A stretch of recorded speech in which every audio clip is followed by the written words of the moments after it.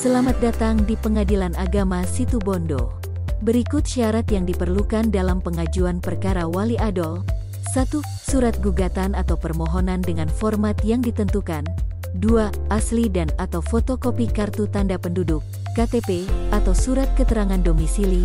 3. Asli dan atau fotokopi kartu keluarga. 4. Surat keterangan penolakan dari kantor urusan agama.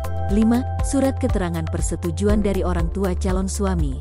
Catatan, semua fotokopi surat tersebut dileges atau stempel materai 10.000 oleh PT Pos Indonesia.